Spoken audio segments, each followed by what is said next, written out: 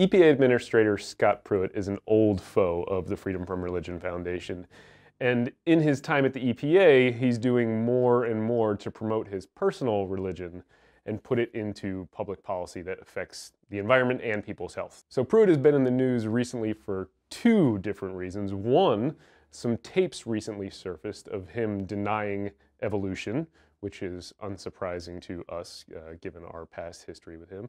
And also him again saying that he is using the Bible to craft public policy. Um, this is the second or third time that we've heard him say something like that since he was appointed to the post of EPA administrator. He essentially said that because God gave man dominion over the environment that we can do with it whatever we want. We can harvest the resources regardless of how it might impact that environment. The environmental left tells us that though we though we have natural resources like natural gas and oil and coal, and though we can feed the world, we should do what? Keep those things in the ground, put up fences, and be about prohibition. That's wrong-headed. He's using the Bible to create environmental policy instead of science and data. Essentially, the EPA has become a theocracy. The, the Bible becomes the guidebook for crafting legislation and policy. And that is not the way that we want an arm of the federal government to run or a branch of the federal government, and certainly not one that can impact people's health in very real ways.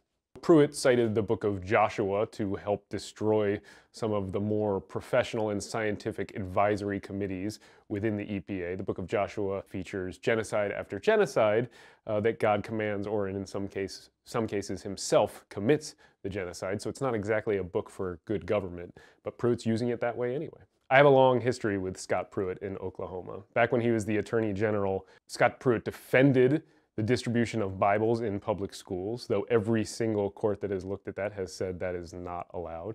Uh, and he actually wrote to schools saying that he would take case to court if need be against FFRF. He also helped defend a Bible class that we got shut down uh, that the Hobby Lobby Corporation was funding.